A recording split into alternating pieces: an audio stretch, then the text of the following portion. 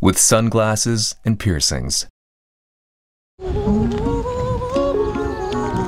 And never without his music. こんな感じでいつもかけてるですね大事ですか音楽大事ですねそれはどうして19 year old snowboarder Ayumu Hirano is a master of the half pipe.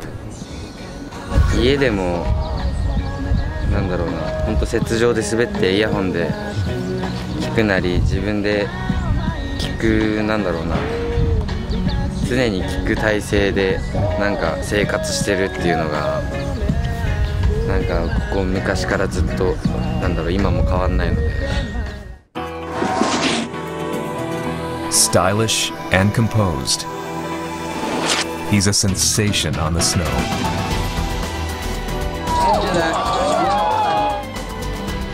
Hirano won two World Cup events this season and is a favorite for the gold at the Pyeongchang Olympics. Ayumu Hirano.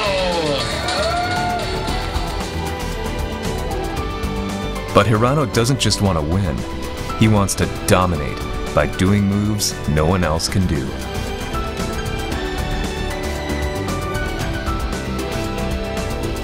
やっぱ自分はそういう攻めて、 うん、周りを黙らせる滑りするしかないからさりげなく勝つのは嫌ですね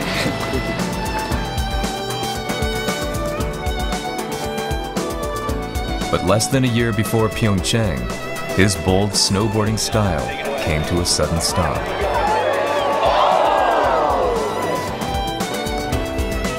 He crashed while attempting the world's hardest trick, one only he and two others had ever landed.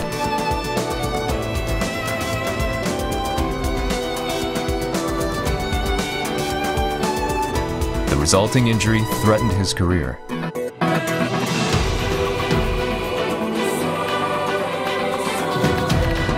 Hirano was determined to make a comeback.